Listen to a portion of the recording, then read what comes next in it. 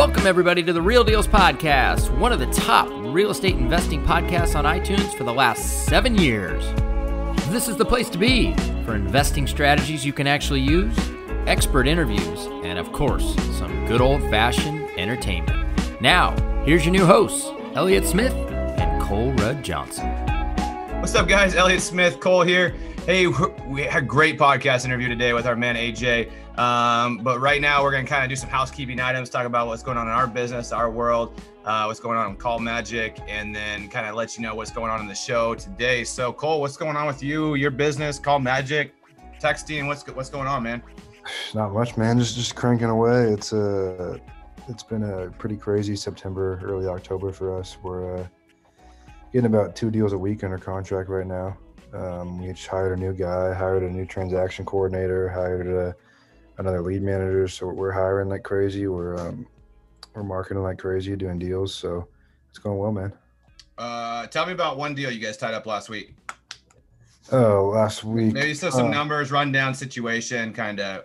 I got uh, one I'm more excited about that we got actually just today. It's um it's a deal in University Place, Tacoma.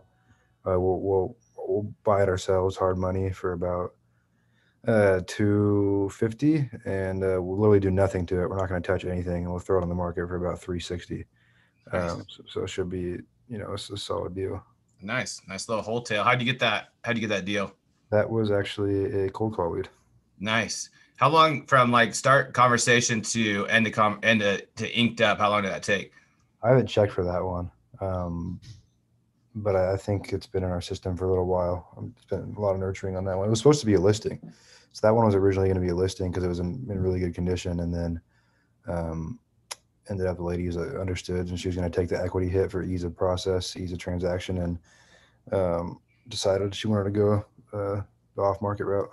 Cool, awesome, man. So here's what's going on with us. Uh, I made a like a basically a 1.8 million offer today on some dirt um, on the west side um, so that's interesting. We'll see. I always tend to rabbit hole myself with these dirt deals. I got to make some one happen. So, um, offer on that one. Um, we tied up that probate last week. We're working on our financing on our eight unit.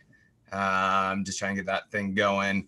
And then, um, other than that, dude, I don't know about you, but like I've had leads like pick up like crazy this week. We didn't, we've gone on five appointments this week no rhyme or reason. I mean, we got some leads from cold calling and text messaging, but some of them are from like old direct mail leads. People call us like, we went on three appointments on Monday. We've gone on two other appointments this week, and it was Wednesday. This is Wednesday when we're recording this. We didn't go on. we didn't go on five leads in two days and friggin' all of September or August. I mean, we went. And so it's it's just weird. So guys, if you're out there and you're not freaking getting deals right away or the leads aren't coming in, just know it friggin' cycles. Um, so yeah, it's uh, I mean, a couple good, really good deals that we made offers on, and we'll see. So it's awesome. Yeah, awesome. Cool, man. Well, uh, um, what do you uh, why don't you talk about the show we talked about today? AJ, kind of give people a, little idea of what they're going to be yeah, hearing. So, so we got AJ on today. I met AJ uh, a little over a year ago, um, July 2019, in uh, in Maui at, a, at the Brandon's Maui Mastermind, and uh, right away I knew he was probably the smartest guy in the room. This guy is just a business operations mercenary. I mean, he has businesses in technology, e-commerce, real estate. He's has the best-selling self-storage book on Amazon right now, um, and it's just an awesome story because he actually um, almost passed away. Uh, you know, yeah, couple- he, it talks about almost dying in there, where he was on life support and in the hospital for four months. Yeah, and it's just it's a true story of what passive income does. I mean, so we hear so much about passive income, rentals, um, and real estate, but this is a story where you know, if he didn't have his portfolio, his family would have been on the street pretty much. Yeah. Uh, and they would have lost everything. So it's it's a real story about that, and he's a he's a real authentic dude. And we get into some great stuff that um, whether you're just getting started, whether you're in self storage, multifamily, single family, just his business mind applies to so many different um, avenues. Nice, yeah. And then he's also using our call center. Uh, we're pumping out a ton of leads. He's building a wholesale business. Talking about that, he's using our cold calling, our text messaging platform. Uh, you know, Call Magic, you know, a little update on Call Magic. You know, we started this really ramping it up. I know you guys been here probably about two months now. We've grown it. I mean, considerably. We've we've basically almost tripled the amount of agents we've had in the last uh, in the last two months. So we're growing. We're going. Cole and I are going to Tijuana next week to um, to look at putting a center down in Tijuana. Um, so wish us the best. Hopefully the cartel doesn't uh, um, do anything to us too bad. um, so doing that, um, we we started beta testing uh, text messaging or getting the text messaging service done for you. Text messaging service out this week. Cole, you've been dealing with those guys a little bit more. What are we seeing on leads? What are we're seeing? We're seeing great lead flow um, in the in the beta group for the our text messaging platform and that that service we're providing. I mean, the guys, we got a guy in Oklahoma City he's getting about eight leads a day, and a guy in Spokane is getting you know five day leads a day. So it's uh it's definitely working. Yeah, yeah, it's awesome. So um super pumped for that. That that cold calling we sell basically in every market. The text messaging it's very uh, hard to implement with our backend processes, our systems. So we're limiting it to certain markets and a certain amount of people. Um, you know, reach out to us about it, but we're not just letting everybody in. We're probably only letting five or six people in at a time across the country to make sure that we're we're fully focused on them, making sure this this lead source that works really well is working really well for them. So, all right, guys, enjoy the show today. Uh, leave us a like and review on uh, Facebook. Uh, share the podcast. Other than that, let's get into it.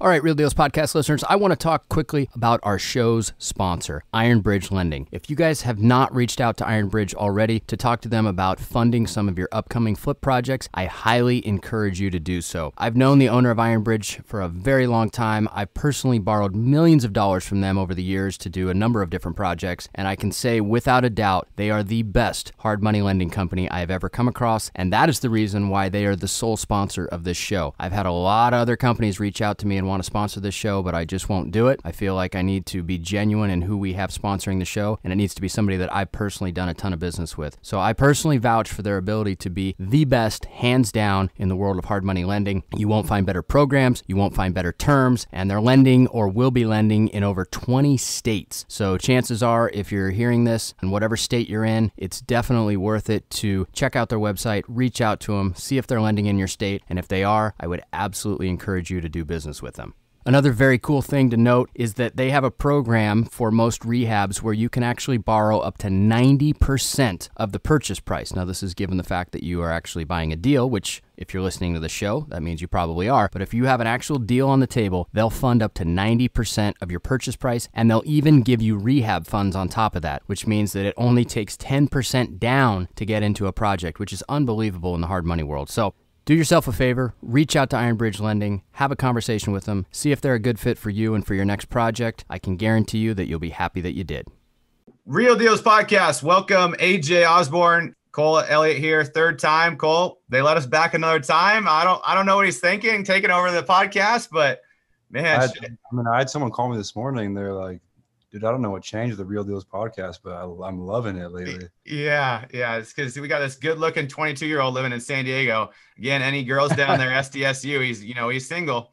So anyway, AJ, what's going on, my man? I've heard so much about you from Tucker.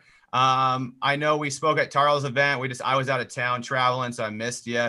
Um, so I don't know a ton about about you. I know you're, you're a really good-looking guy with a good beard. Um, That's all you need to know. Boise uh, area, I think, and uh, you crush it in uh, self storage, and you're getting into Cole built some systems for you, and you're getting to do some off market stuff in uh, in uh, Idaho. Also, I want you to be brutally honest with how it's going for you, and then so we can kind of you can give us feedback on the podcast. So, hundred percent. So tell us about yourself do. a little bit, and let's get into it.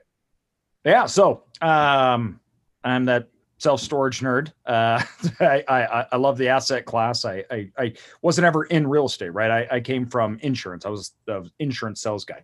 I sold insurance to like group benefits, medical benefits oh, nice. to companies, um, and realized that uh, didn't want to be on the treadmill forever because that meant that I would always have to be selling. Um, but it, it was good learning from have to earn commissions you know? As, as, you guys know that that that game you got to hit the phones you got to call yeah, people and you got to track that and uh but i i realized that wasn't a long-term situation. So when we were looking at getting into real estate and doing something different it really needed to be involved around our strengths which the real estate side I, I didn't really understand great but i understood business operations um, revenue management and capital allocation. So i thought let's focus on this and and self storage just it was you know, this is early 2000s, and, and it was like, this is such an underserved asset class that um, most of the people that own it, they're just simple real estate investors. They really don't even want anything to do with it. And we could take it and just by doing a little work, we could really turn those things around, increase the revenue massively along with the value and produce enough, enough cash flow to redeploy that cash flow and compound it out and keep going. No, you started Um, in, sorry to interrupt. You started in early 2000s. You don't look old enough. You look like you were in the seventh grade in early 2000s. I know you, I got a, I got a great picture to show you uh, of me holding some, some papers. Yeah, our first facility um, was a small facility. I partnered with my dad on it, and it was 2004.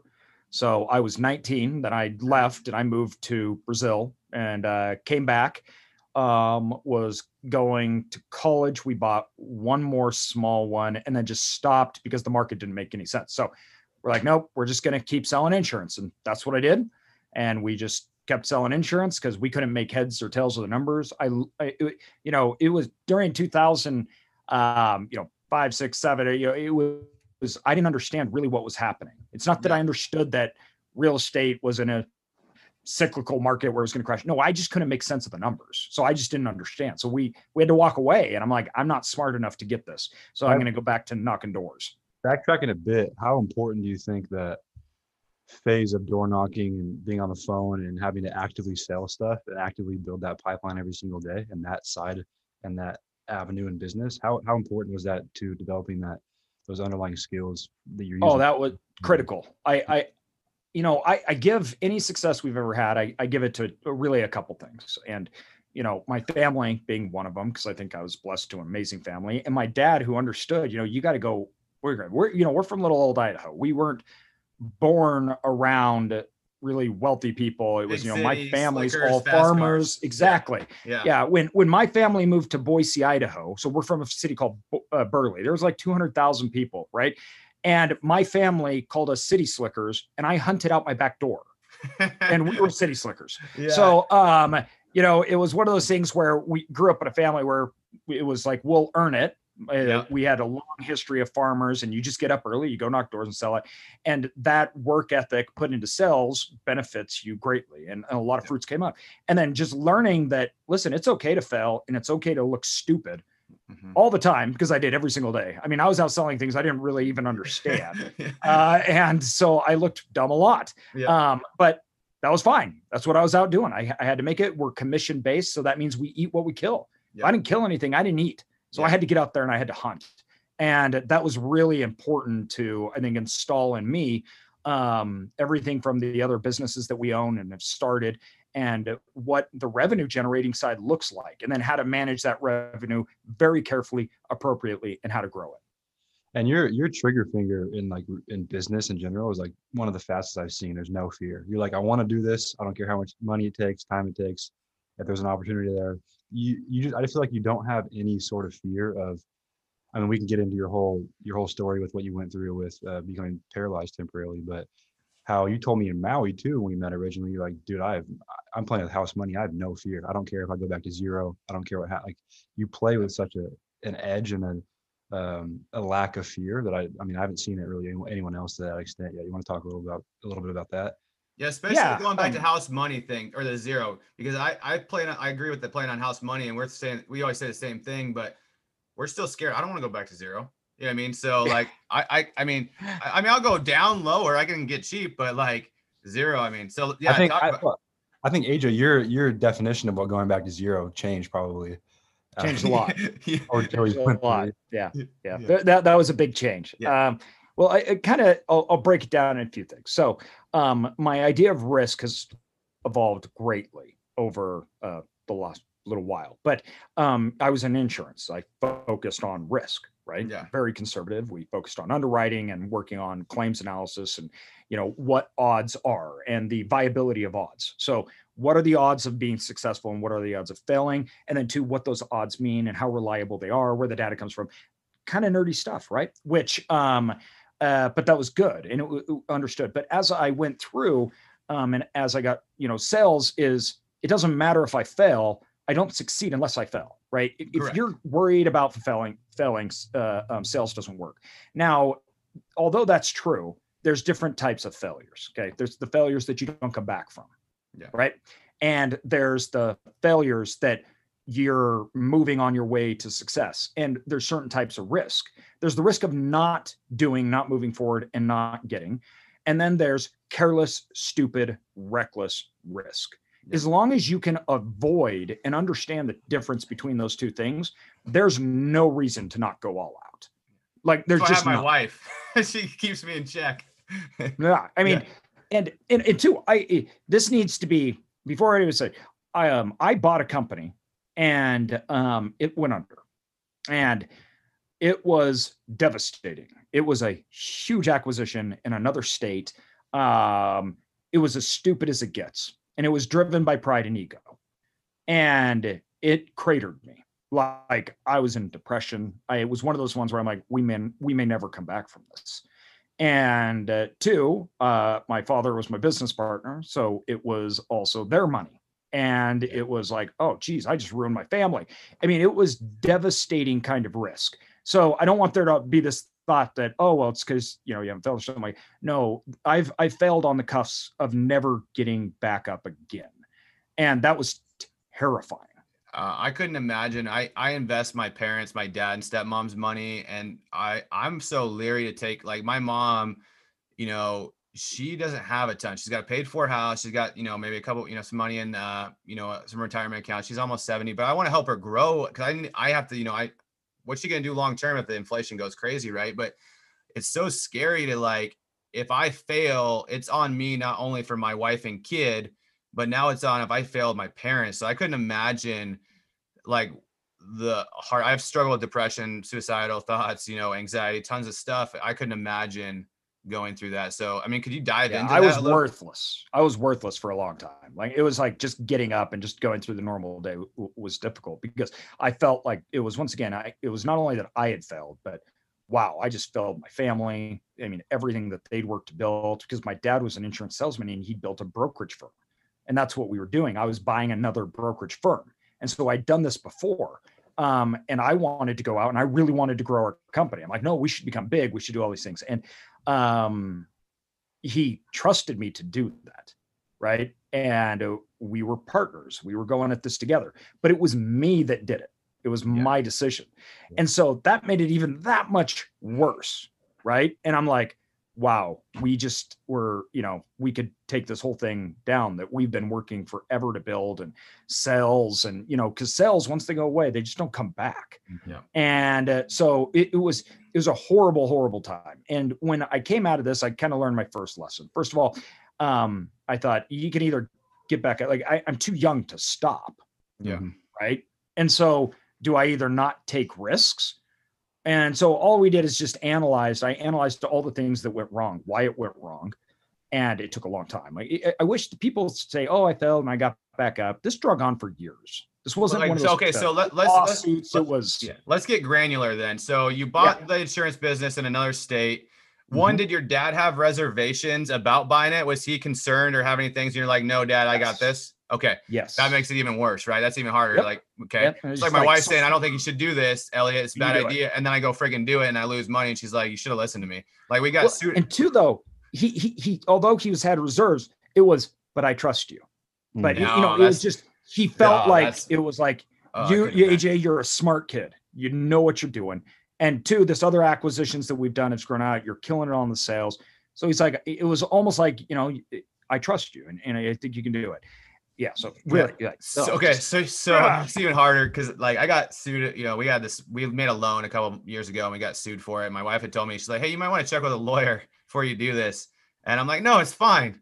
We ended up getting sued and losing. She's like, "Told you so." But- yeah i i ignored the lawyers on my contract yeah, i'm like he would never do that yeah.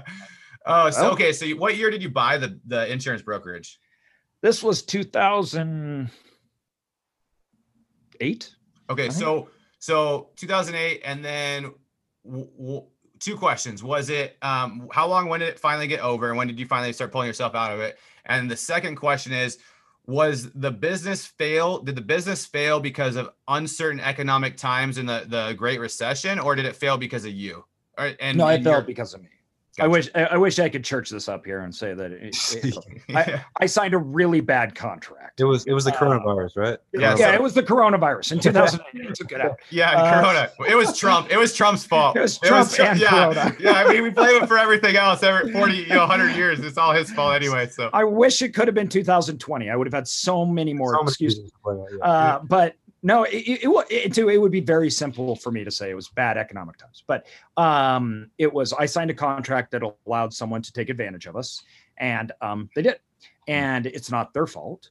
I was the idiot that signed the contract, Yeah. and I was the idiot that did the deal. So, you know, you let people do bad, stupid things to you, that's what happens. Mhm. Um, so I uh we got out of it. It was about a year uh later.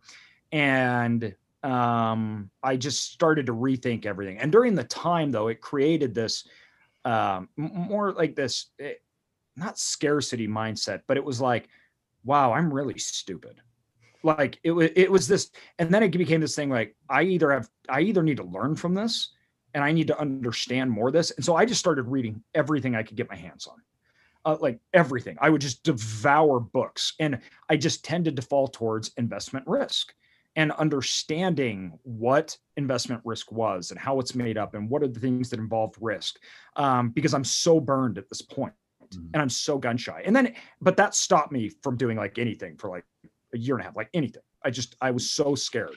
On the- on Um, the- and on the back end of that, yeah. what what switched on kind of the as you Yeah. climbed out of that?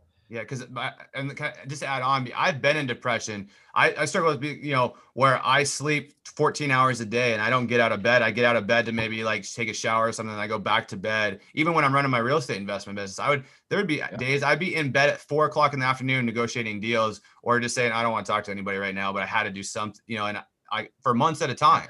So how, I mean, I'm guessing it. I don't know if you were that like at that extent, but Yeah. Yeah, But it- how- it but, was- like, getting yourself where out of- My wife's like, "Hey, why don't we just go out and sit in the grass for a while, and pull me out of bed?" You know? like once you're in that I- mindset, you're in that poor me, life sucks, Yep. and maybe you have some chemical imbalances, but at the end of the day, it's like I don't want to go read a effing book. I don't want to go read a book No. about like you know No, how to be exactly. successful. You're like fuck this, I there's screwed no it reason up. to because you can't be successful, right? Correct. That's how I could. And I I think um, that I I don't have any kind of chronic depression or anything like that. So I think I was very fortunate in that aspect to be able to pull myself out of where that could have been a trigger for something much much worse. Um, but when I looked at it, it was I think two things, and that was accepting the reality of the situation, but accepting that the situation is not me Gotcha. and uh, that was a very different distinguishing that it's okay to make stupid mistakes and decisions and once again i credit this a lot though to my family. They they helped out. They helped me out and uh, instead of saying you you're horrible or anything else like that.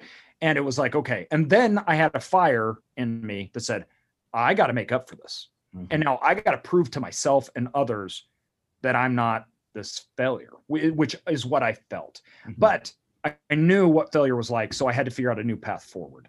Um, and that process led me to understand a lot more things about risk and where we were going. But it also really installed in me that revenues from the assets that we had, we didn't own those. Those could go away at any time because that's what had happened. We bought the shop. The guy that we bought it from, his wife came and took all our clients Hmm. that we had just paid them for millions and um because she didn't have a non-compete and uh, so um yeah i know no, right? that's yeah. and so uh what happened was i i realized okay the right out of the situation is i can't keep blaming this person. I signed the contract. It was Yeah. me. I made the mistakes okay we're over that let's get done. You screwed up bad. I, you know i had to get it you know you sound like it's like you just make a decision. This is wallowing for a year. But uh you know and then uh, so i'm like okay let's let's move forward. Let's let's get on past this. Uh you know gained a lot of weight slept a lot uh, really good healthy stuff. And then i said let's understand kind of the economics of the situation. Why this can't go and, and now how do i grow from here? Now how do we expand? How do i achieve are my goals dead? I mean i'm like 28 or 29 right am i done um and two i kind of thought i was a smart guy before and so i think all that really actually helped it was humbles you, right? it humbled big yeah. time and and two it also led me to understand a few basic things i cannot force success and i can't change things, right? Like I don't fight the market. I don't fight economy. And when data says something, I don't argue with it. I don't try to make up a reality in my mind. It's not like, oh, I love this investment property so much. And now I'm going to figure out a way to get it done, even though what's being told is telling me not to do it. Mm-hmm. I don't do that anymore because that's what I did. There were so many things that said you should do that, you shouldn't do this deal. And I did it because it was ego and it was pride. I can overcome all these things, right? Which yeah. is just a lie we tell to ourselves. So that understanding that and understanding that risk. And then I figured out, listen, if I know and can identify good opportunities, mitigate risk, then there's nothing that I can't do except lie to myself. So I was like, I'm not going to do that again.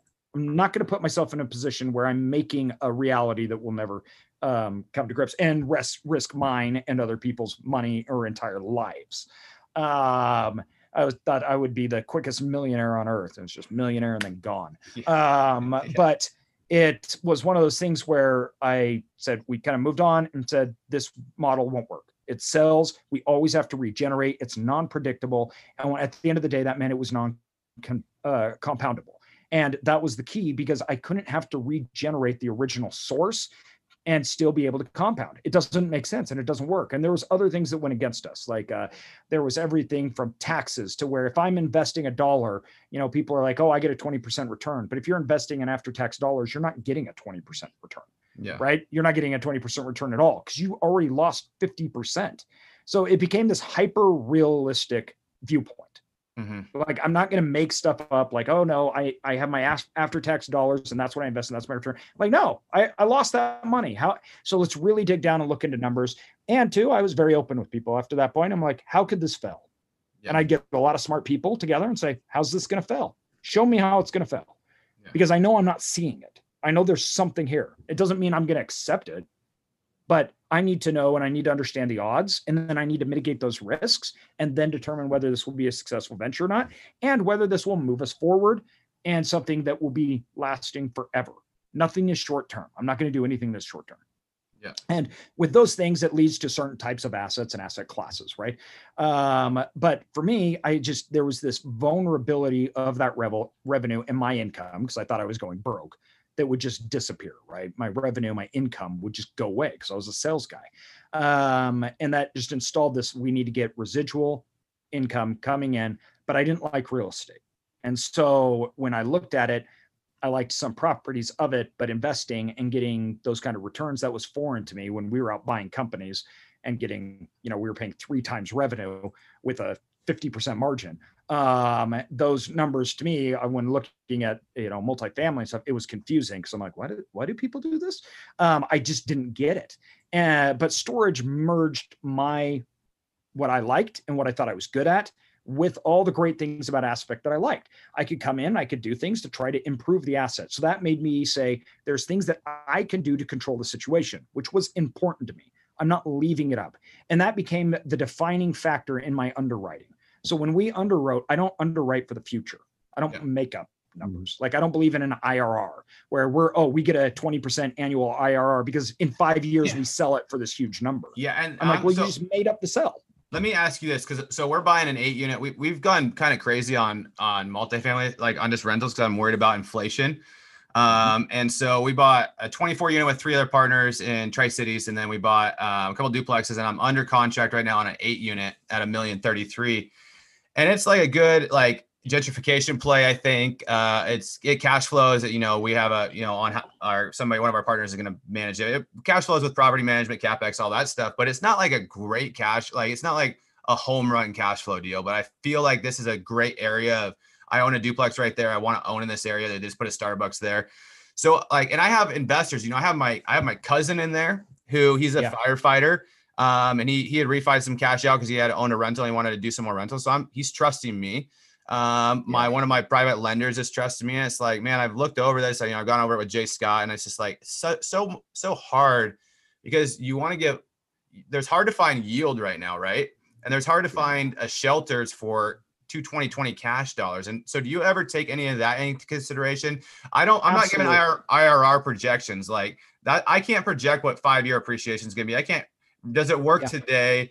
yeah, hopefully the rents increase the trend. Hopefully the property appreciates, but does it work today? Does everything cover our debt service and our more? And so like, but it's still hard because I I'm in the off market world where I'm looking at sexy, sexy deals for the last five years that are like huge. Yeah, I'm 60%, 50% equity. This one, I'm maybe, you know, after, you know, our, we're buying 30 down, 30% down, basically 25, 30% down. And we probably have like a 10% equity buffer in there. So it's basically a kind of a retail, maybe a little bit below, but. Well, first of all, you guys got to understand something that is clearly my, I, I learned very early and throughout this whole thing, I realized something that was critical to I think the development in our investing strategy was that we were rich, but we were not wealthy. And those are two very different things mm-hmm. because mm-hmm. anyone that earns a high salary is rich. Yeah. They have lots of income coming in, right? But if you're rich, you can lose that income at any moment, mm-hmm. right? If you're a surgeon and you shatter your hands, you are not rich anymore. No, it's over. Yeah. Right. Well, and NFL players happen all the time. Look at the NFL or NBA, right? Yeah, exactly. So rich means you make a lot of money. Being wealthy means you don't have to make money. And that stood out very much when I understood that concept that I'm like, I'm not financially free. Mm-hmm. I'm not wealthy.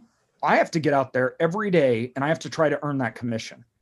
I'm a high paid employee from these companies that pay me and they fire me, right? They fire me and leave and go hire somebody else. So I always have to go get another job. It's like this constant treadmill I was on. Um, and when I realized that, I thought, man, this is not the right path and not doing the right thing. So there were aspects to real estate besides just the overall return, like you're talking about, that you have to take in consideration.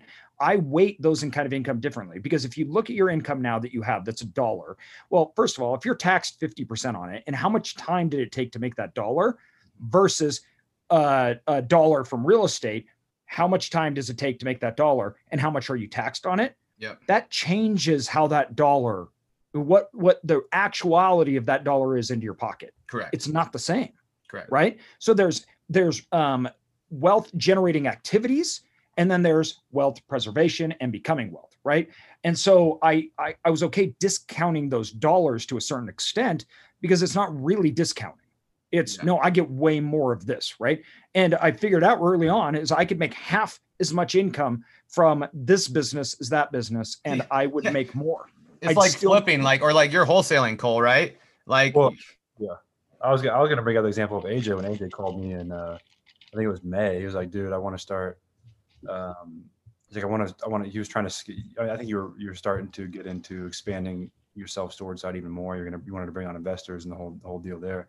They're like, do I need to start marketing for these? I'm like, why don't you throw in a uh, a uh, single family side too? And you're like, yeah, why not? Why not? I haven't even thought about that. So I know you guys got it rolling now, but um, what is the goal with that side of, of your business now? The um, with even with a single family yeah. I know you're trying to to scale yeah. the um, with other people's money, scale the self storage stuff, but how do you see those tying together?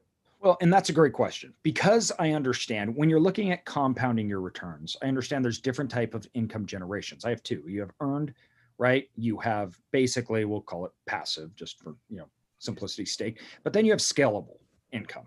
Okay? There's different models where income can scale itself without with, without being bound upon its limits in the business, right? Um, and think of those things as like online businesses or things like that. The, the, network effect allows that um, value to spread in the market with very little effort.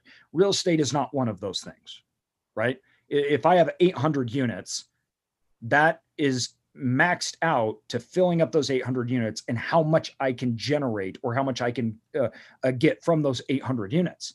The storage facility doesn't automatically make 800 more units. I have to go buy another one. So my capital has to be redeployed. So for me to get where I wanted and my goals, I said I need to have all three. I, I wanted to have this earned capacity side, which is my time is valuable. So when I'm spending my time on any of my activities, I should be earning something from it.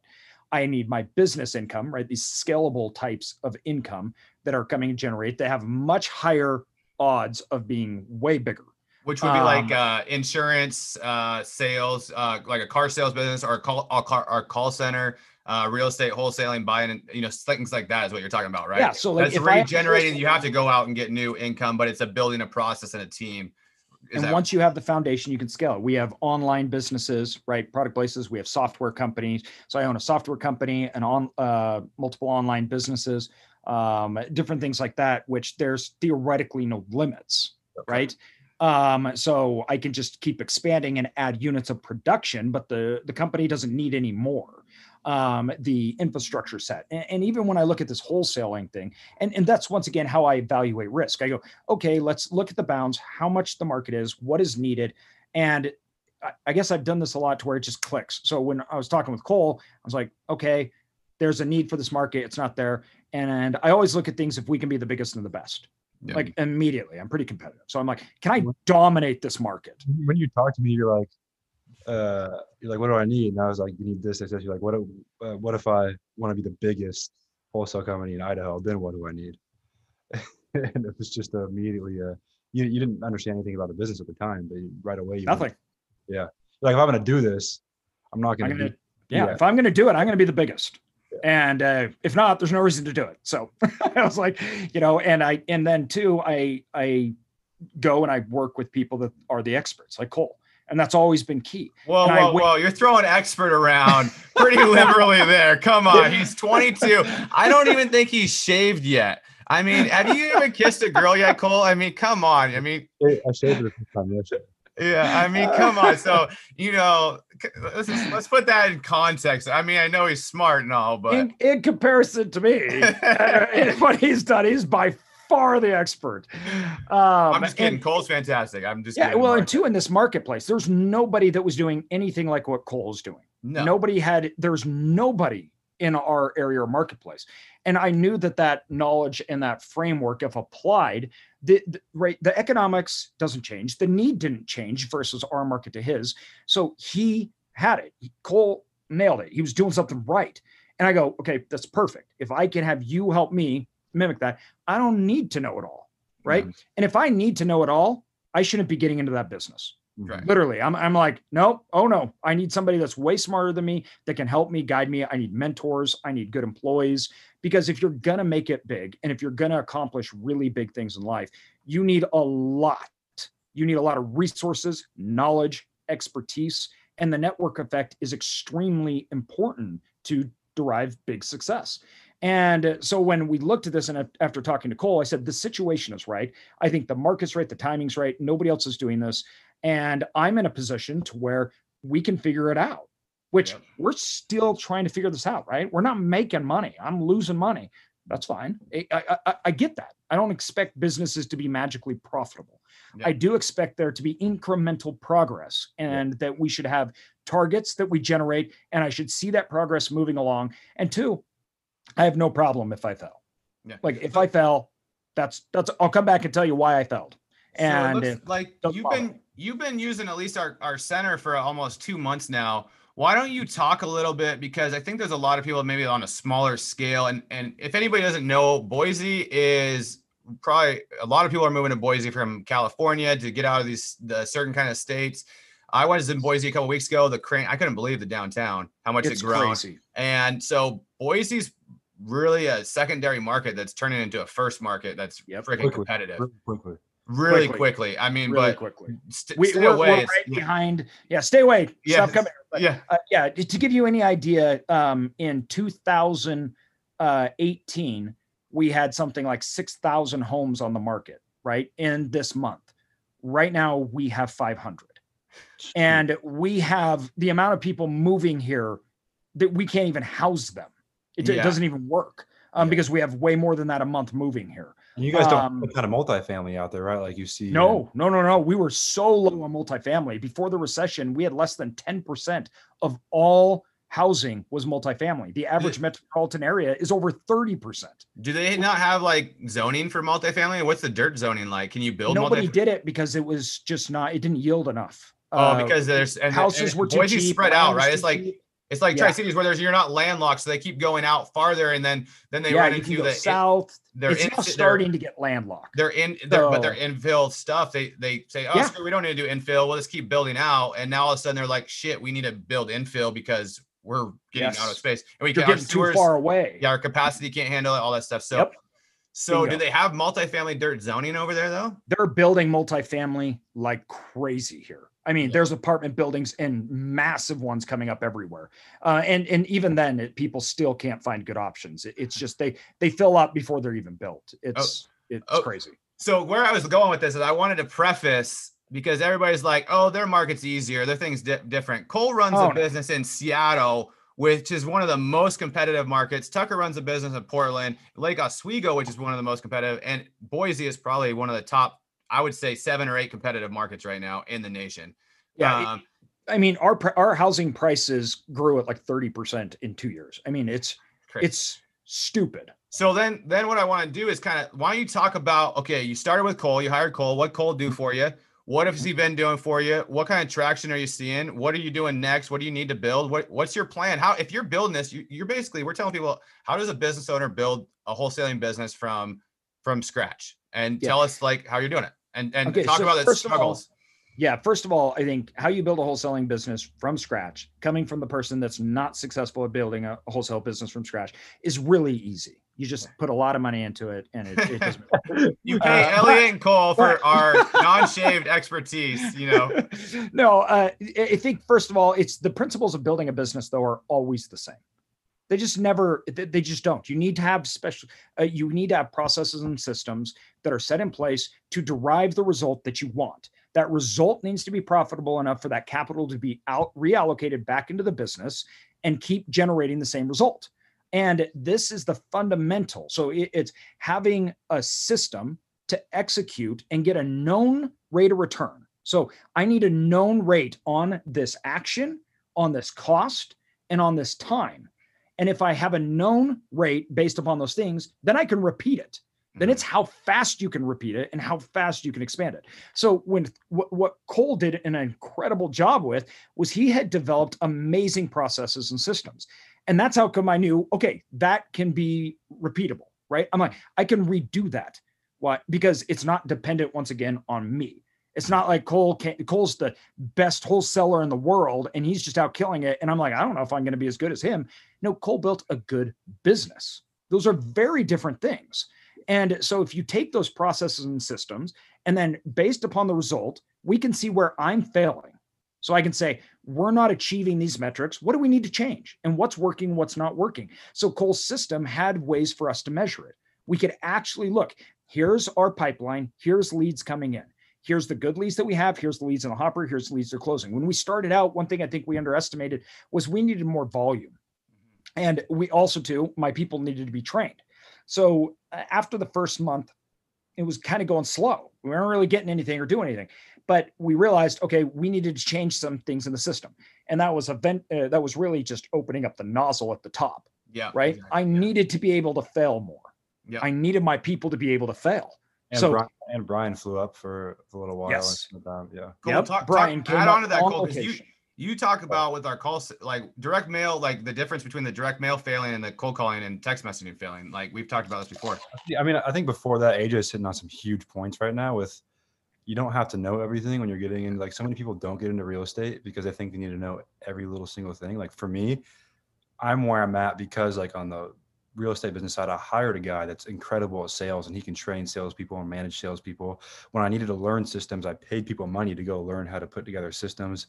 Like with the call center, I'm not really like a natural born CEO. We went and found a guy that Tucker who gave us this podcast. He's- He's a CEO. I'm not a sales guy. Again, Elliot's a sales guy for the for the call center. So um, that's that's a huge point. But yeah, getting back to um, the point, uh, what AJ's making is so many people. If you can't track something, you don't have systems in place, you don't know what's going wrong and know why you're not doing well. He he could see clearly. Okay, we need more leads. Our guys can be able to fail more, which most people are not going to say. We need more opportunities to fail. They're going to say they're going to cry about what they have right now not being enough. He's Or saying this isn't working, so we just need to stop. Exactly. You're like, no, we need more. We need more of that same thing, so the systems can get better, our people can get better, um, and I mean, that, I think that's that's not something to skip over. Is, Well, and it, we did the same thing, like Cole's talking about. I went out and I found a guy that I just love to death, Brian, and he's he's he's willing. He's like, I'm going to go out. and I'm going to hit it hard. Um, you know, he he was ready to be aggressive. He's ready to hit the phone calls. Um, and sat down and we talked about, listen, this is where it's at. This is what needs to happen. And um, then he needed help. because if you hire somebody, you know, you got to help them, you got to encourage them Mhm. along. And um, Brian was in a situation like, you know, I was, and a lot of people are, it was commission based. We were going to help him make sure he could survive because like he needed to be able to last, but it being commission based too, though, he was building a business. Yeah. So we're more like partners. Mhm. And I needed him, I needed to be able to have the confidence not only in him, but he needed to understand we can fail here, but we need to fail forward and it needs to be measurable. And two, we're going to try to give you the resources to make you successful and back you. So when he he went up to uh, up with Cole and your guys' team up there, and he just sat and he came back and he was just like, "Holy cow!" Um, that was uh, that was a big game changer, right? It's because you don't know what you don't know, Mhm. and that's okay. When we got in, when I got into storage, we didn't know anything about storage. The only thing we knew about storage is that you didn't tell anybody you were in storage because it's kind of embarrassing. People are like, "Isn't that like a junkyard?" I mean, at the time when we got into storage, it was you know it now it's like an asset class. I am a storage unit builder and I'm an investor in storage units or mobile home parks. Yes. Before now it's it's like, a huge thing. It was Yeah. not cool uh, before 2008 at all. In Yeah. fact, most people thought it was going to go away. They thought this is a junkyard thing that's just going to be gone. Um, and so we went out and found people and we teamed up with people and we learned how to do it. Uh, so I think if you have the ability to say we can make the right kind of mistakes, once again, this comes back down to the risk. There's fatal mistakes and there's the stupid mistakes like I made, right? Mm. But then there's mistakes and there's risks that are not only not fatal, they are necessary.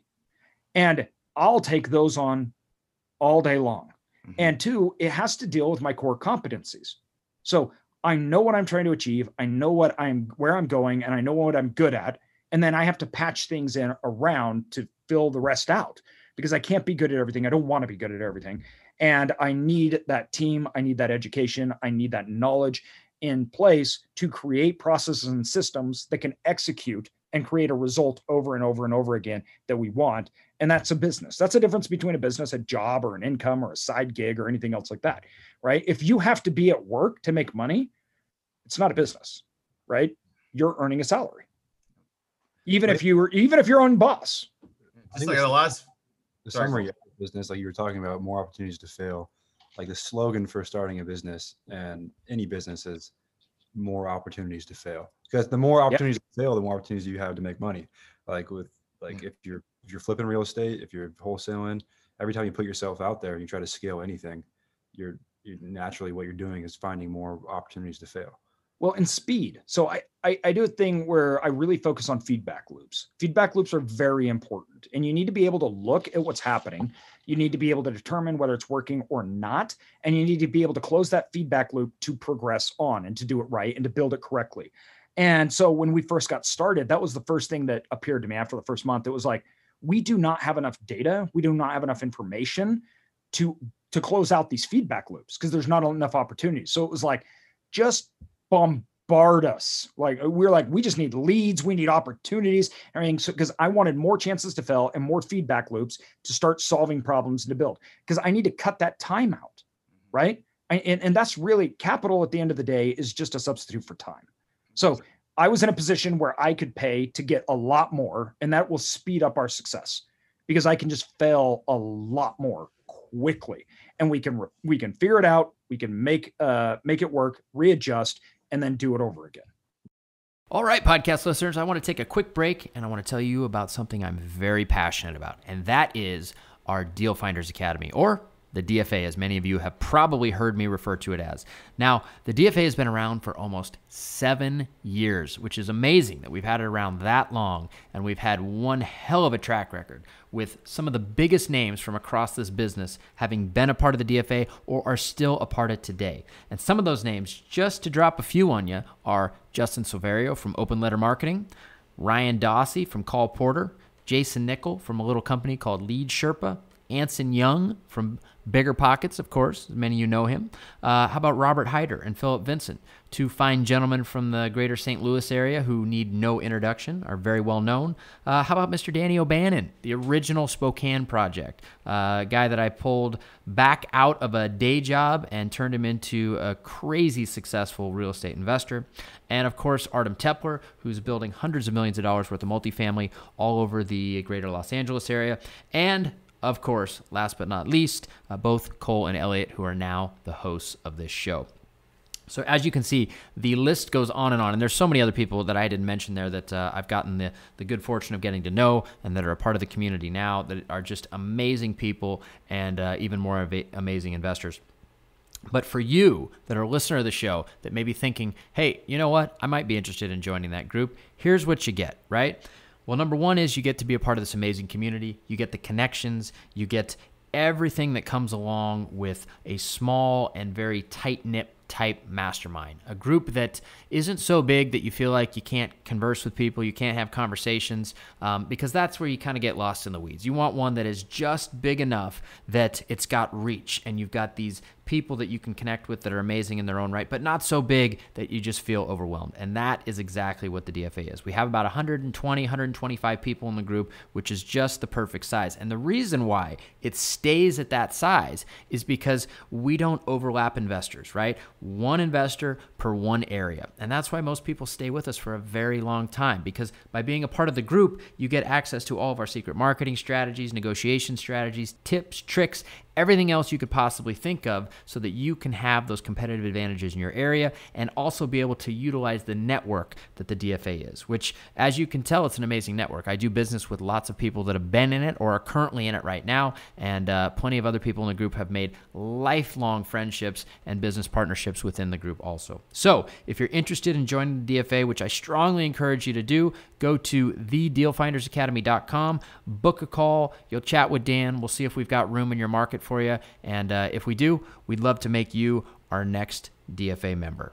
I love the point you said about building a business because we started doing real estate um, back full time in like 2015. But like we were, I was working part time. I was, you know, my wife and I are both working part time. We were traveling. I was golfing 130 rounds a year, but we were still clipping a good, you know, mid six figure business, like making money, buying a couple rentals here and there. But I had to perform. I still had some guys on my team, but I still had to do stuff. Like it wasn't a, it was a high paid job. Like if I just stopped, it stopped coming in. So we really shifted this year is like we're really now we're really bankable. So we're adding more rentals. But then also the thing I love about like not even to pitch it, but more so the call center I'm building with Cole is it's scalable and it's it's sellable, right? That's the thing that I really like about it, and it will work without me.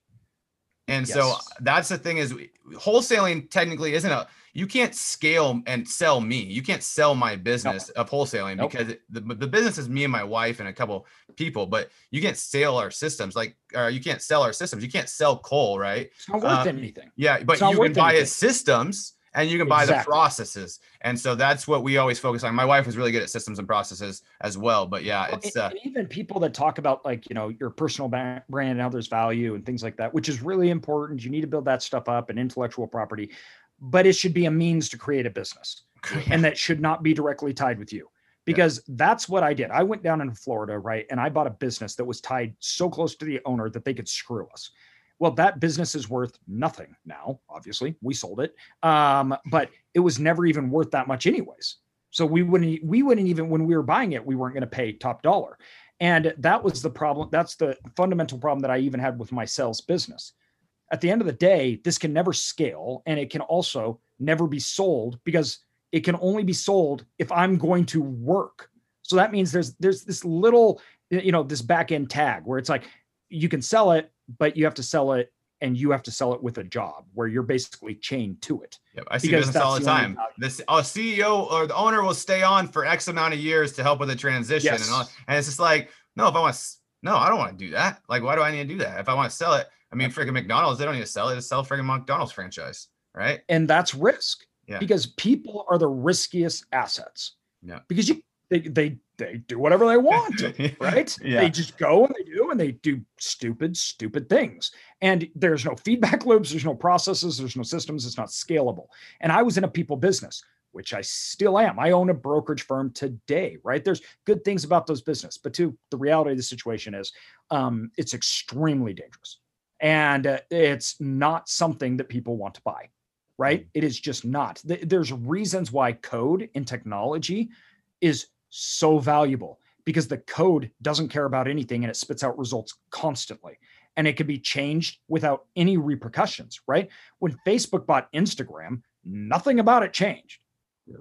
until they started to change things but there's nothing to change. The code will do what the code will do. That is extraordinarily valuable. So the risk and how that the risk is uh, centered around the revenue generating portions of the business. And if that revenue ge- generating portions of the business is a person, the risk becomes very very high. Gotcha. So okay, so why wholesaling then? Why do you want to why do you want to get into that? You did now you said you had a brokerage. Is that a uh, insurance brokerage or a real estate brokerage? Insurance brokerage. Okay, so and then the wholesaling actually is very simple. So my my business is we I love storage. We do all things storage. We find undervalued properties, we turn them around, um, we identify the money that's sitting there. Um, it's been a very profitable model and one that we're expanding rapidly. So I started up a, a, a more of a private equity side that was not just me and my partner um, which was just me and my dad and my brother-in-law, which had built our whole business over the last 10, 15 years, right? Um, and I started private equity side where we take on capital and we are going to expand, do more. We're we have conversions. We're we have uh, two conversions right now: Sears and a Kmart, oh, three, and an office building that I bought. Um, then we're doing ground up development. Um, Aren't you right the largest now. owner of self storage in the United States? Not the largest, but we're in the top percentage. Um, and uh, so when you look at the projects though, and, and that's changing rapidly because self-storage is consolidating. So um, it's tr- consolidating quickly. From mom, before, from mom and pop single owners mom to, and pops to more yes. uh, conglomerates like you. Yeah. And, and the landscape of self storage is why I bought into it. Because I, when I looked at industries like, you know, me and Cole were talking about before, like, how do I compete? Because every game is a is pretty markets are made up of people and i got to compete i got to why would people want to invest with me why am i going to get a better deal right how am i going to have an edge and when i looked at storage at the time when we started it was like 85% of the entire industry was owned by mom and pops one single operators 85% I mean, if you look at all the other asset classes, it's inverse. 80% of their markets are owned by institutions. They're funded. They're, cra- you know, things that I didn't have. I couldn't compete in that. I didn't know what to. I couldn't go start competing with apartment developers, right? Or, I guess I could. I didn't know I, how. Right? I thought I the I, I now I went to this uh, IMN conference last year where America's Homes for Rent was talking. All these guys are getting into the build the, the, rentals, you know, rent, you know, all that stuff. They were saying still like there's still a huge percentage that of like rentals, single family housing that's still mom and pop. But single family but, is. But it's not, but it's you buy one single family, it's one single family. You buy storage, yes. it's scalable. Same with mobile home. Yes. I think Brandon was saying mobile home parks were one-off owners yes. and they're, they're trying to do the same mobile thing mobile home parks and self-storage are the same thing so mobile home parks so i'm talking on the commercial side single family home rentals is still predominantly dominated by mom and pops um, but when you're looking at the commercial side for apartments retail right um, mobile homes and storage were very very very similar right? Banks didn't really like them before 2008. Um, well, banks still aren't fond of mobile home parks; they're harder to finance, but um, uh, it's that creates an advantage, right? Mm-hmm. Because it's all mom and pop.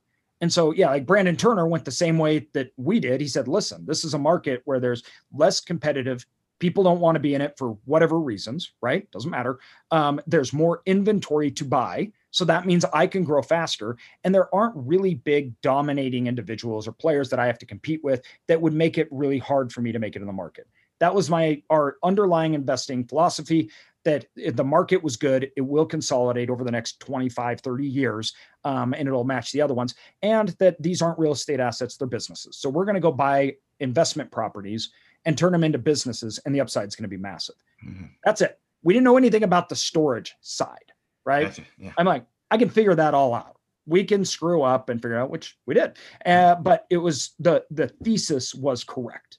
Um, it was a way to mitigate risk, and it was a way to use these uh, levers to drive revenue, increase value, and redeploy that capital in a market that allowed us to expand it.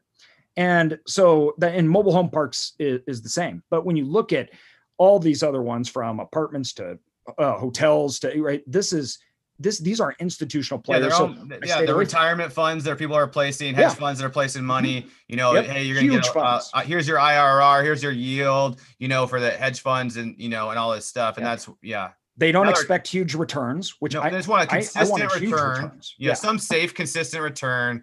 You know, where we're not gonna lose people's pension money, even though it seems Bingo. like they're all going broke. And so when we were yeah no I'm kidding right? But uh, the, the when we were building out our storage side and everything and we wanted to expand it i said okay now in order to expand and really scale our business we need two things. I need inventory and i need money. At first i said i'm just going to go to other people to get my inventory and get my money. So capital aggregators right? People that place funds. Um, and i quickly learned if i want to get as big as i want to if i want to dominate in the space and i want to get my results that i want to i need to control my future. Remember i'm kind of nuts about that whole losing control over your future thing because I did it and I got bad, right? Yeah. So I thought if somebody else is controlling my money, the moment they say, "Oh, geez, AJ, uh, we didn't know you had a red beard. This is over. We just can't stand people with red beards." It's those And- Irish guys, you know. It's anybody, Exactly. you know, that's red beard. You know, it's just Greg, you can't really- trust them. their credit risk is really, really high. Really, really high, I mean, right? especially those farm guys. Screwed. Yeah. right? I, I have no control over that, and all, and I didn't want one person to have control over my future. Just like I didn't want, uh, just like I shouldn't have had one person control over my future when I bought that business back again. So I said, I got to bring this inside. I need to be the one because I'm operating the business. People need to invest with me. They need to Mhm. understand what I'm doing, not some guy that gets money and then gives it to other people. The second side was if I don't have predictable, dependable product inventory to buy, I don't really have a business. Mhm. And so then we said we need to internalize the process and method to find and get deals. So I immediately said, okay, we're going to start looking at conversions, developments, and and we knew exactly what we were doing there and building out. And I'm lying in bed one night and I'm thinking, I have no idea how to build out uh, large systems to find off-market deals, right? Because I don't buy deals on market. Um, and I'm thinking, oh, I'm going to hire somebody and they'll just make calls or anything. I'm I don't really know how to do this. And I go, oh, but I know who does. So literally the next morning, I reached out to Cole and said, hey, what if I paid you to just go find me storage deals, right? Just Yeah. I'll just pay you money. And you just you just go do it, Cole. And he was like, well, we don't really do this in storage, but he's like, you know, AJ, you really should, probably should build a business out of this. Why don't we teach you how to do the single family homes, and that will fuel and create reoccurring revenue because the long end tail of larger assets, right, for sales guys, that's long Yeah. right? They they may find a deal, but it may not be for months. And so then I'm like, I don't know how to keep these sales guys. And Cole's like, what we need to do is we need to build a business around your need, which that has always made me successful, is building businesses around the needs, right? It wasn't something that I'm like, oh, I just, you know, I really want to be a tech superstar. So I'm going to go start up a tech company. I didn't know anything about it, nothing to do with. There was a need. I could identify the need and I had, and I could figure out a way to solve that need. And it was my need. So we put that together where we said this company could sustain, right, and build out and then keep my inventory for storage going. So the sales guys, So you hold on, hold on, hold on. You're Yeah, going. ahead. You're talking about the the wholesale model and learning The that, and building that out. But then, so like we're calling for some guys that are looking for um convenience stores, and it's actually worked pretty good. They got some leads and stuff. So like, are you Yeah. trying to like what you're trying to say now is you're laying the groundwork for building systems for an off market system where you're like, if I make money in Boise, that's great. If I make money there, but I really want to find an and build an off market system and how to generate leads for self storage. Is that yes, kinda your- much bigger assets. Oh, yeah. Exactly. So- So when I went, when I came to him, like, yeah, we can absolutely do this. Like, like you're saying, it's working. I'm like, we can hammer the, we can, we can, we can get lead flow for this off market stuff. But I was like, AJ, do you want to be the one on the phones all day talking to people? He's like, no. I'm like, you need a sales team, and you need a sales team. You need predict- predictable revenue for those guys to pay their bills.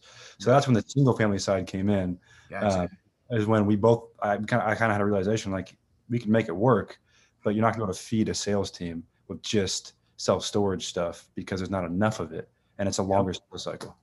Exactly. And it was Genius, identifying what wouldn't work, right? And, it, and he was exactly right. Like I, I, I couldn't solve that. And so then we said, well, if we're going to do this and build this business model out, we have to do it right, right? And two, it needs to be well, the biggest. So then we went down and we said, okay, this is because going to I work. don't do anything half-assed. I just got to be the best, the biggest, with the greatest beard in the whole world. And, and listen, there's a reason Maybe not why. though. Brandon Turner. I mean, I don't want to like get in a fight between. I'm buddies with Brandon Turner Yeah, too, be- so Beardy Brandon, he you know, I'm not judging. You know, they both are beautiful. but and this is why let me give you a kind of a preference on why why so um i i i became paralyzed um overnight right and i, I had to go to the hospital and uh, i was on life support for months and then i've been over the last few years recovering i was actually they were working on my legs this morning in the hospital um and so when i got out um i'd lost my job my boss was kind enough to uh visit me in the hospital and let me know that my sales job was over. Why you were paralyzed? Yeah, while I was lying in a hospital bed. How, And, how, old- um, how old were you when this happened? And what? And how I did you was get 30, um, uh, 34, 33. So did you you because you lost your that business? 30, I was 33. at Yeah, I was right 28, So you ended up going into another job. You didn't go straight back into being an yeah so we well we sold our we sold we sold our brokerage firm right uh, to a comp a national company um and i worked and ran the office so i was running their divisions out west and it paid very well and it was great and i was good at what i did and i was like i'll just invest in in storage and we'll grow that but i'll have a high paying job um and then i uh became paralyzed from something called guillain-barre um which stopped my brain's ability from communicating with the rest of my body. My white blood cells destroyed my nervous system. And so I lost my ability to breathe within days. I just all of a sudden couldn't walk and then um, was put onto tubes. And so I, I was on life support. And then after I got out of life support, um, uh, I was in the hospital for three, four months. And then, uh, but yeah, so uh, uh, my boss, who I, I, I like, I'm not saying anything bad about my boss, of course. I was paralyzed in the hospital. What was I supposed to? There was nothing. It's, I'm not at all saying anything bad about them, but it, it does kind of rock your world when they show up and it's like, hey, I'm sorry about everything that happened. By the way, as we all know, this this career's ended. Um, So you not only basically died in business and basically died, were on life support, like on your deathbed with a business that you failed, but then you were also a couple years later, let's be on physical life support in the hospital, almost dying and losing your life. So holy, holy thank- moly! thanks man. for pointing that out. This is a great interview, guys. I mean, This is no, I'm just well because it- I think it really speaks to the testament is like what I'm affirm. You're a real person. Everybody looks at like I heard about AJ Osborne or all these guys, and you're fictional, right? You're like they're so great. They're not. People don't understand that you're a real person, and it's like, man, you're a smart guy, but you worked your ass off to get here, and it's like, and it, you've taken two major hits that most people won't have to deal with in their entire life, and you've done it in, the, in a six year span, and still look at where you are. And I think it's your inspirational, is what I think it is. Um, Thank you. So, I appreciate that. yeah. Yeah. And so when I when I came out, I was like, I'm never doing insurance again. And um, well, I, at the time, we weren't doing anything again. I was at home in bed and I was just lying there. And it was like, okay, hopefully we'll walk again. That was really the goal. Um, and so I went through life and was doing therapy and trying to learn how to get back and walk. And um, it gave me a lot of time to obviously think. Um, and so I realized, though, I basically almost died in my early 30s. Um, and time is very limited. And so I said, if I'm going to do anything at this point, I've got to make a decision what the rest of my life's going to look like. And I, I thought that's not nearly as important as understanding how I'm going to approach it. So what it is is really not that important, but what I do with it is. And so for me, it's not not to be obnoxious or anything else like that, but I just decided if it's worth my time, then I just better kill it. And Yeah. if not, then I shouldn't do it at all um, because I don't have that much time and I almost lost all my time. And so that was just kind of the approach I took after that. I'm like, a normal job will never be good enough anymore. And if I'm going to do something, whether I make money, whether I do anything, it's, I just got to make sure that I put a hundred percent into it and live it up as best as I can. And so, you know, and Cole, when we talked and Cole said, Hey, this is what we're doing, said, all right, we're doing it. Let's go. And um, then we started on that journey and that fulfilled that end part of our private equity side that we were doing to build out all these projects and to to really expand this. And we expanded our team and we hired uh, you know we hired brian but we hired investment management people. And we've really been in expansion mode over the last two years. Um, and it's you know we we're we're killing it on deals and everything. It's it's been very very good. And we've been able to do that and not um, take away any of the things like uh, incur more risk. Um, in fact, we've uh, found lots of great ways to uh, offload risk um, or to get rid of our standards. Um, I have very high investment standards, and a lot of people tell me they're unreasonable um, and that you just can't expect to get deals like that or do, do deals like that. But we do. And that's just something I don't want to sacrifice, even if times are hard. So instead of sacrificing and doing lesser deals, I said, let's put a lot more time, effort, and money into finding the quality that we want. And uh, Cole's been helping us out on that side with that. nice. Do you have family? Are you wife, kids? I have four kids. oh man. Uh, Yeah, we had our we had our fourth kid when uh three months before I became paralyzed. Jeez, Louise. How what? How old's the oldest? Twelve now. Okay, yeah, man. I just couldn't imagine having four kids. So now I always like to talk to guys because in my mind, it's um, it's great that you know the business side is great, right? Everything you've done and talked about is great. Can you speak just for a minute on like how do you find balance? And I'm always looking at. I have a one uh, almost two year old, and so I want to. I'm struggling right now where I'm putting 60 hours a week in this call center, and it's like I'm hanging out with them, but then I'm on my phone and I'm trying to like trying to be cognizant. How do you how do you be a good dad? How do you be a good husband? How do you how do you pair that really well with like also wanting to like fill your ego and your you're not you're so much your ego but you're like your desire to be really Yeah. the best right that's Yeah. that's a hard thing to do and so how do you handle that Well, eh, as you can probably tell, I don't handle balance. at all. yeah Uh, eh, but that's how it comes down to my kids too. I'm just I'm obsessed with them. It's Yeah. like I'm that annoying dad that's just like just smothering his kid, kissing him, and like, oh, what are we gonna do? We're watching Jurassic Park. Everybody cuddle around here, right? It's just I with the time that I'm with them, I I, I just love being with them, and and it's been really hard because of the medical complications too, because I got to spend a lot of time with them. But I was MIA, right? It was in because I was in a lot of pain stuff, so I couldn't do anything um, and I still have to kind of balance some of that stuff out. But we just prioritize that what I'm doing, I'm doing also for my family. And like, so we did an acquisition, right? My sec, uh, my second oldest, my boy, got to go out, fly out, and see my acquisition, and we traveled and did work together.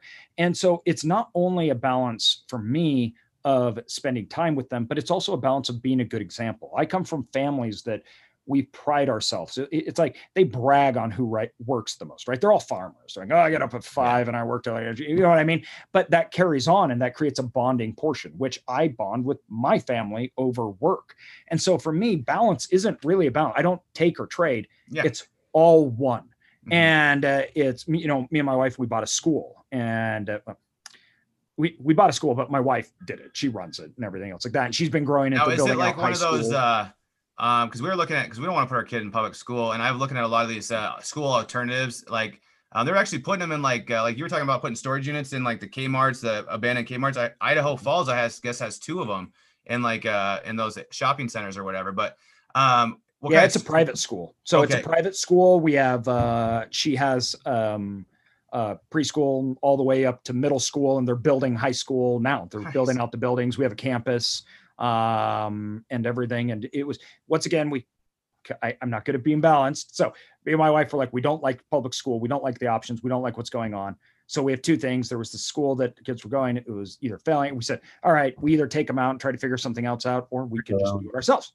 so instead of homeschooling, you built a school. Yeah. That's oh man. So Gosh. yeah. So it, we get to spend our, but our kids are involved in these things, right? Yeah. They're going to the school. They're seeing as my wife is working with all her employees, right? They it's they know why it's a, it's something that we talk about. We're extremely transparent and extremely open, right? I'm underwriting assets with my boys, right? And then we're going skiing or we're planning trips, and hey, I got to go do this. Why don't we? So it's we we view our life as a family activity. Everything, school, business, everything is a family activity. Gotcha. That's uh sorry, Cole, go ahead. My only, the only tough part of me, I just have to balance time by the pool or time working inside. Yeah. Yeah. That's got to be just rough. Well, there's the beach, Yeah. not just the pool. The Yeah. beach, you got to balance I that. really in. hate to see what happens when you actually get a girlfriend. Like, I feel sorry for any of those girls though, because I'm like, hey, he's going on a date this Friday. I'm like, hey, Cole, are you excited about your date? He's like, that's whatever. and, you know, I'm just like, bro, like you gotta get excited. Or we're playing Xbox. We play Xbox like two hours together every night. And I'm talking to him like, are you excited about this? He's like, oh, whatever. I just hope they don't blow me up and bug me during work time too much. And I'm just like, oh my gosh. no, I, I I get that. When me and my wife uh, were first uh, were, were were engaged and uh, get married, it was it was very clear. Like you, we're we're either going to be rich or broke, but either way, it's going to be all in, right? And, and my wife, uh, uh, her her dad was a train engineer, and so he was always gone, right? And he was Yeah. always ordering stuff like that. So it was uh, that worked out very well for us, just from the standpoint. She's like, no, you get out there, right? Make it happen, whatnot. But I I like working. So I, I feel you, Cole. I know. You're like distractions from work. Ugh. yeah, exactly. Yeah, it, I used to go to my dad. My dad's a physician, and he had clinic in Boise at one time, and but he had 60 employees. I would go to the clinic, and we go skiing. And he talked to me all the time about real estate. This he, my dad's a physician, and never once did he say, "Elliot, you need to go to college to get a college degree." He always said, "Elliot, you're great at people." It's, he would take me on adult trips where we go. Like I remember going in, you know, in Idaho, there's the salmon where they do the like four day kayak or the whitewater rafting trip. Yeah. I kayaked in whitewater. We did that for four days. I'm the only 13 year old. It's all adults, and he's just like he just treats me like one of the adults. And I think people don't understand like they shelter their kids from real life so much. Yeah. But it's just like I when I was I all my friends are probably your age, AJ, or older. I mean, Cole's my youngest friend by far, but because they're so immature, but they don't know how to talk to adults. But I grew up with only adults learning how to have a conversation. When do I talk? When do I not talk? What's appropriate? What type of Mhm. person? And my dad taking me into real estate deals when he was trying to, he was an OG, he would run uh, nickel ads in giant nickel and for buying we buy houses and he'd take me on the points and he'd see hey see how i did that see how i solved their problem see how i helped them and he's a healer right so he's always helping people and he always Yeah. instilled in me you never screw anybody this is why you're we're helping them Yes. And so and, i think and that's a great thing too that you know and you mentioned this and talking about building those ethics in children and everything. We for me at least you know i grew up in idaho. Everybody when i grew up I couldn't go anywhere and do anything wrong because everybody know, knows and i knew you'd get caught right? Yeah. Um but so there was this installed because there was no separation Mhm. where it was like business and family or church or what it was all together character was very important. Mhm. because how i act here i act there Yep. there's no two ajs there's no three AJs, right there's no when i when we're around we act and we hold up to who we are we hold those values and um that's really important to business and that's the forefront because business is based upon trust Yep. and those are short-term things that you talk about like losing trust or whatnot so me like you my dad installed that into me very early on Mhm. um, and that helped me tremendously um, when starting and working with others that you could build long lasting re- uh, relationships that need to benefit both sides and if it doesn't it's not a good deal Yeah, my business partner, he's I got he's got kids my age, and so we've been partners for four years.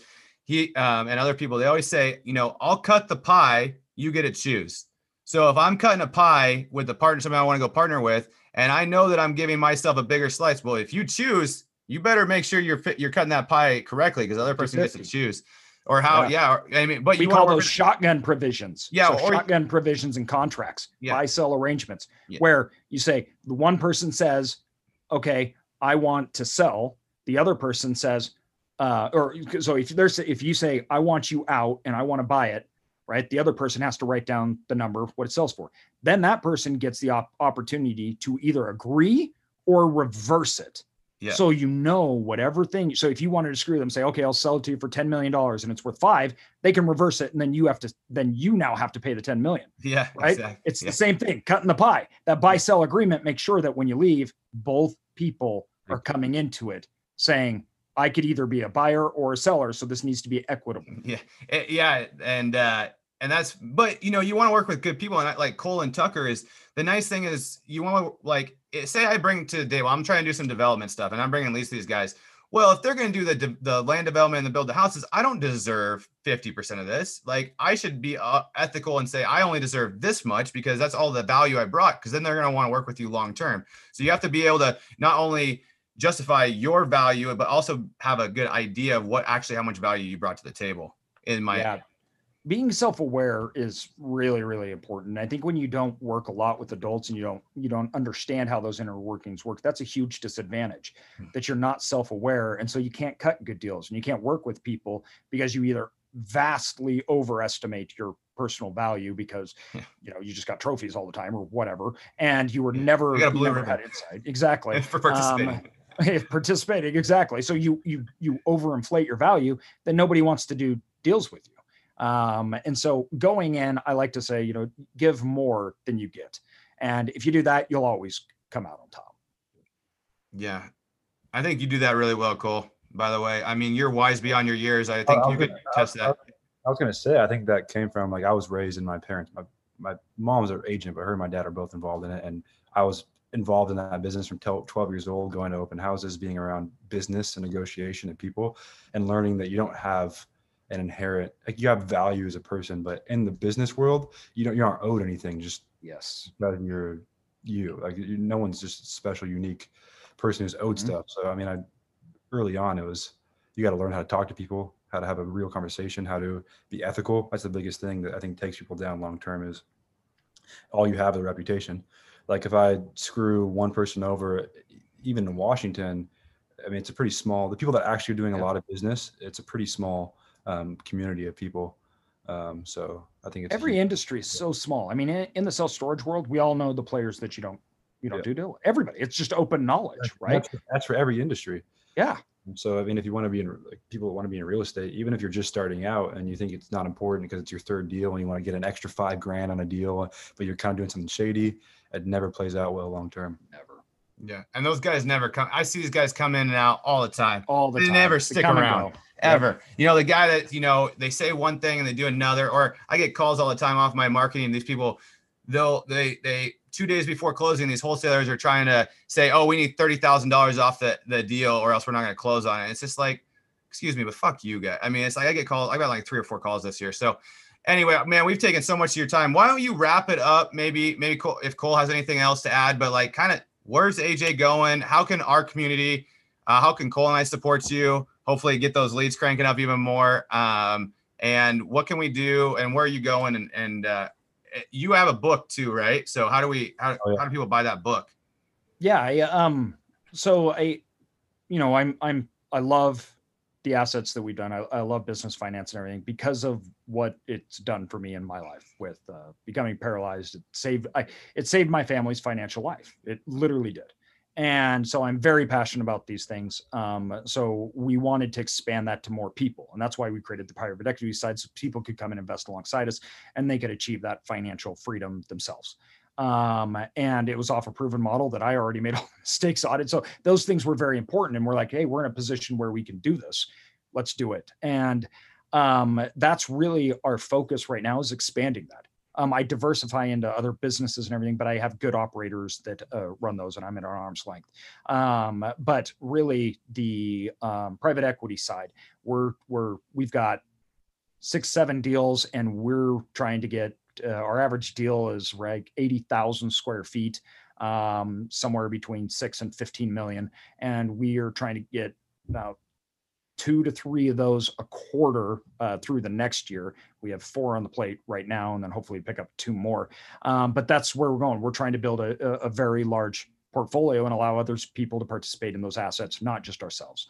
Um, but the book, I, I so I wrote a book because there wasn't a lot of good information on storage, and it seemed like every book was somebody just touting what they did and then at the end said you know buy my course or whatever and so um, i just said hey we need a, a we need a book that's just a playbook right Yeah. a complete playbook on how to do everything in this and um, it was a- cole it was actually brandon when we were uh, at brandon's house um, he he he was the one that said That guy throws out ideas.